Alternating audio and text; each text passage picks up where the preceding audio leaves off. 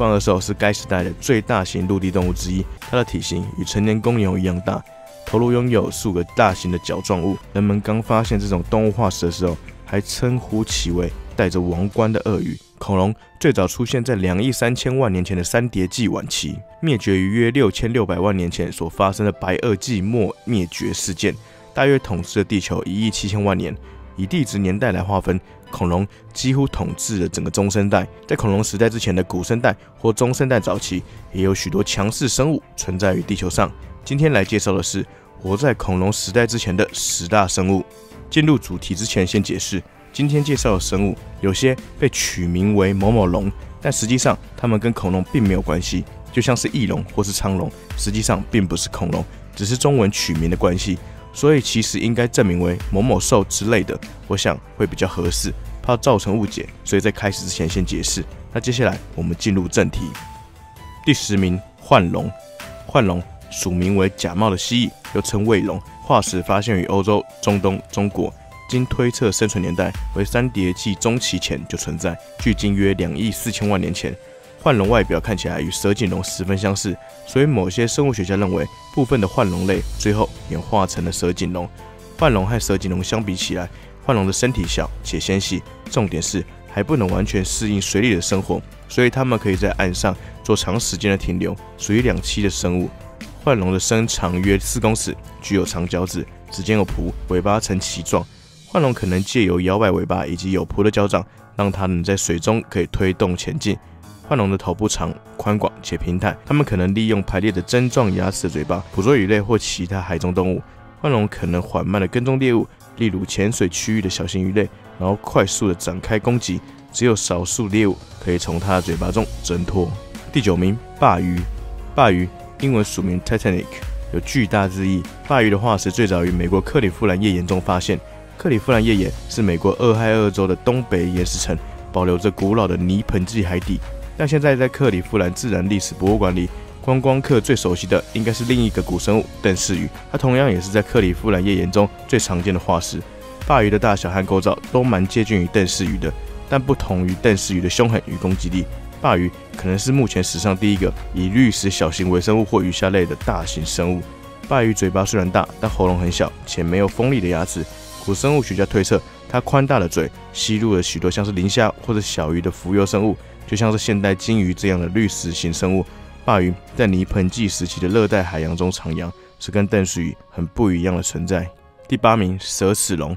蛇齿龙属名意思为蛇的牙齿，是种大型合弓类盘龙目的动物。蛇齿龙的身长至少两公尺，最大的个体可达三点六公尺，体重估计约三十到六十公斤。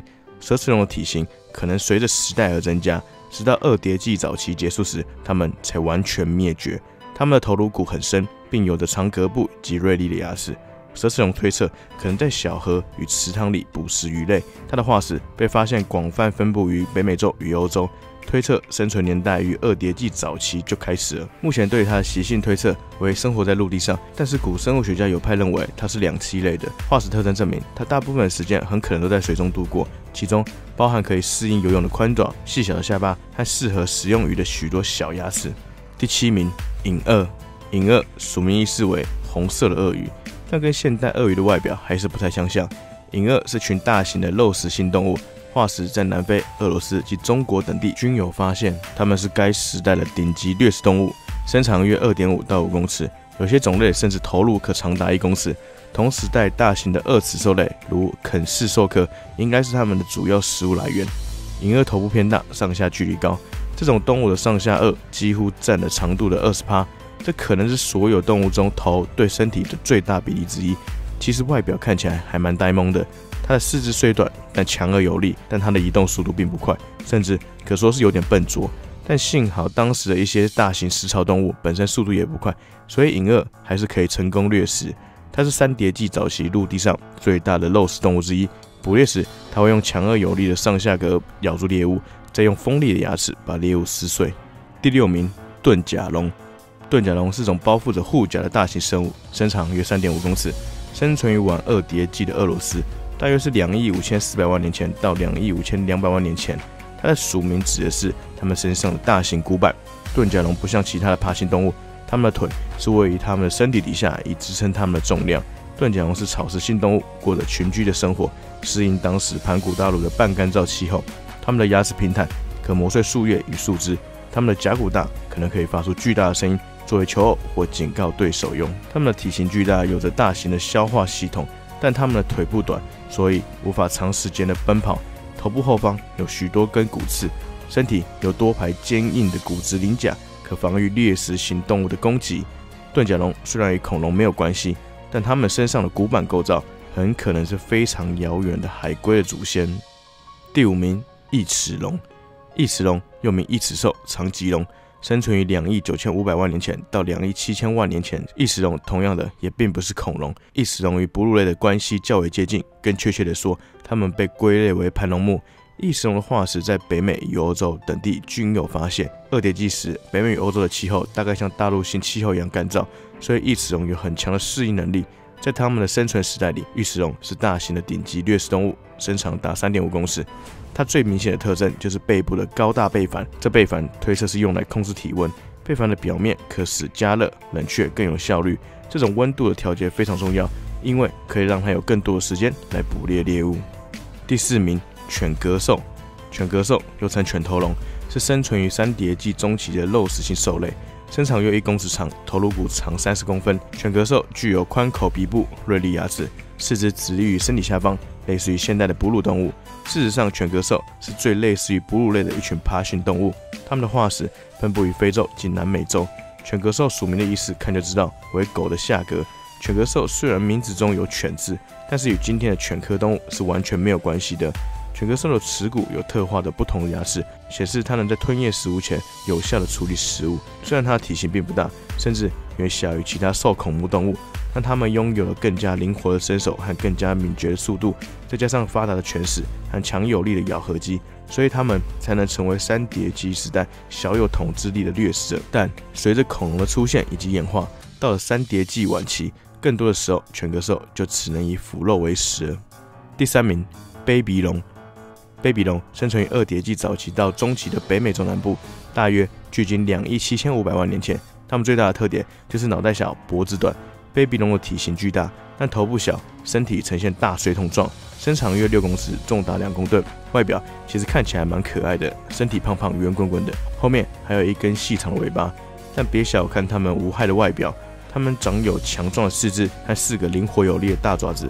平时这些爪子可以帮助它们挖掘地面。去挖掘植物来吃，或是挖掘栖息用的洞穴。遇到敌人的时候，则可用来与敌人搏斗。所以，虽然它们是草食性动物，但因为庞大的体型还有大爪子，所以它们并不怕肉食性动物。那个时代的肉食动物很难有效的对它造成威胁。第二名，利齿兽。利齿兽，利齿兽的署名意思为蛇发女妖面孔，是以希腊神话的蛇发女妖为名。不过，我不觉得它跟蛇发女妖外表相像。历史兽被认为是类似于爬行动物的哺乳类，因为它有许多类似哺乳类的特征，只有少数类似爬行动物的特征。它的外表那恐怖的牙齿看起来就很威猛。没错，历史兽是二叠纪晚期最大型的肉食性动物之一，身长接近四点五公尺，头骨有四十五公分长，那恐怖刀刃状的牙齿则有十二公分长。早期。利齿兽类的生物体型不大于现在的狗，但二叠纪中期的其他强势动物灭亡后，使利齿兽类在二叠纪晚期成为了优势掠食动物。在二叠纪晚期，许多利齿兽发展到牛，甚至有些演化到犀牛的大小，可以说是当时二叠纪晚期陆地上的霸主。可惜的是，利齿兽在二叠纪末期灭绝事件灭亡，利齿兽并没有见证到恐龙的崛起。第一名，冠鳄兽。冠鳄兽属名意思为有冠状物的鳄鱼。生存于二叠纪中期，约两亿六千七百万年前。冠鳄兽是该时代的最大型陆地动物之一。它们的特征是头顶上明显的角状结构，可能是用来作为物种内视觉的展示物。目前已知的两种冠鳄兽都发现于俄罗斯。冠鳄兽是种大型但笨拙的动物，它的体型与成年公牛一样大，头颅拥有数个大型的角状物，分别从头顶与两侧往上与往后生长，有点类似于现在麋鹿的鹿角。冠鳄兽属于杂食性的动物，它们会像常见的兽孔目动物一样吃各种植物的根茎叶。同时，如果遇到猎食的机会时，冠鳄兽也会去捕捉猎物。它们的牙齿虽然比不上纯正的肉食动物，但是也具备一定的饲养能力。但大多数时候，它们还是吃素的。起初，人们刚发现这种动物化石的时候，还称呼其为带着王冠的鳄鱼。但如果从身体结构角度分析，光头兽实在算不上是一种演化成功的动物。